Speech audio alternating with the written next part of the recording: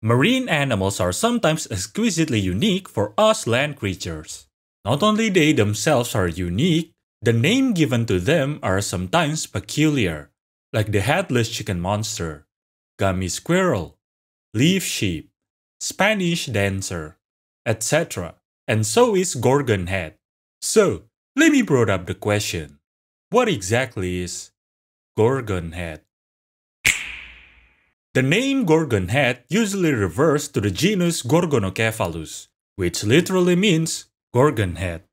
Depends on the context, it can also refer to the entire family, Gorgonocephalidae, which means the same thing basically. The first described gorgon head is Gorgonocephalus caput medusae, which means gorgon head, medusa head. If it's not obvious enough, it's because they look like the tangled snake hair of the gorgons. It's part of the Ophiuroidea class, which are the brittle stars. If you aren't aware of these animals, basically it's like starfish but with long tentacular arms. This class is divided into two major orders, Ordo Ophiurida and Ordo Euryalida. Gorgon head is classified in the Euryalida order. By the way, just in case you didn't know, Euryalida is taken from Euryale. I think it's usually pronounced Euryale in English. Euryale is one of the three Gorgon sisters, Stheno, Medusa, and Euryale. That's Greek mythology. Another biology fun fact, some biological terms uses the steno and eury prefix, which respectively means narrow and wide. That's probably why the Gorgon sisters in God of War is depicted with three different body shape. You know, narrow, medium, and wide. Anyway, there is literally a genus of basket star called Euryale, which is in a different family called Euryalidae. So technically, it's not Gorgon head, even though it looks very similar. These two are sister taxa though, so it's very closely related. I'll talk about the morphological difference in the morphology section. The Euryalida order consists of two different kinds of animals. The one with branched arms are called basket stars, while the one with really long but not branching arms are called serpent stars, or snake stars. Even within the Gorgonocephalidae and Euryalidae family, not all of them are basket stars, so you couldn't generalize them like that. Even among the basket stars, members can have different kind of forms. Astroboa nuda looks kinda neat, while Gorgonocephalus looks more tangled. They are widely distributed, but they tend to live in the deep sea so most people wouldn't have the chance to see them in the wild. As I've stated before, they are members of the Ophiuroidea class. That means they still have a central disk with pentaradial symmetry. It's especially apparent if you look at the central part.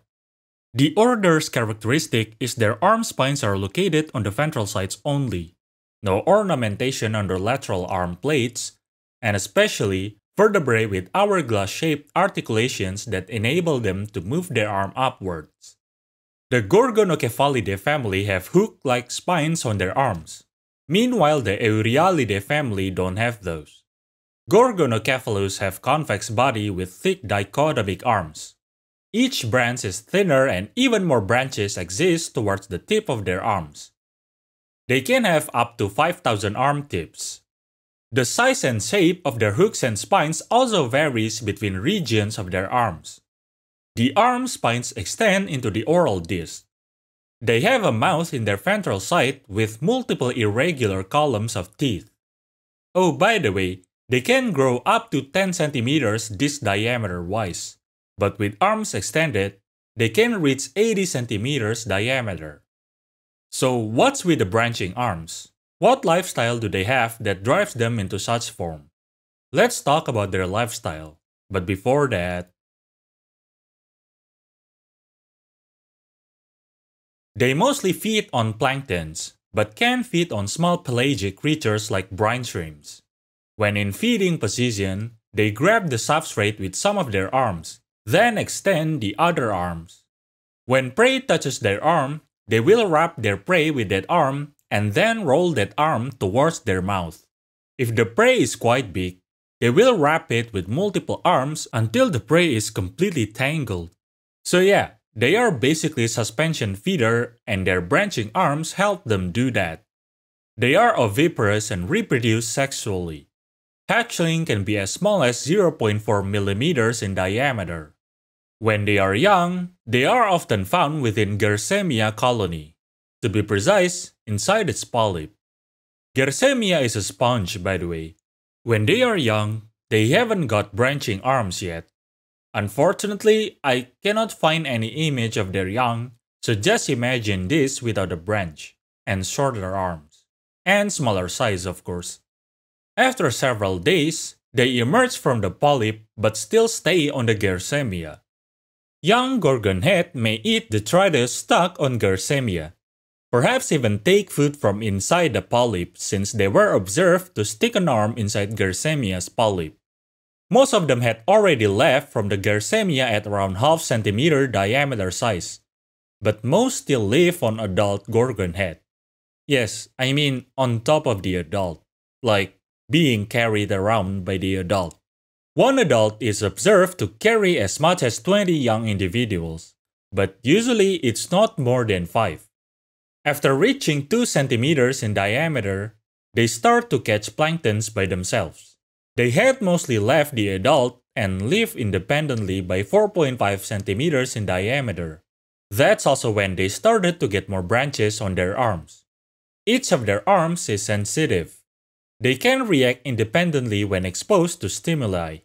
When an arm is exposed to physical touch, they will move that specific arm. Same with if multiple arms adjacent to each other are touched. When they are touched from two different directions, and especially when they are touched on the disc, they will curl their arms together to cover the disc.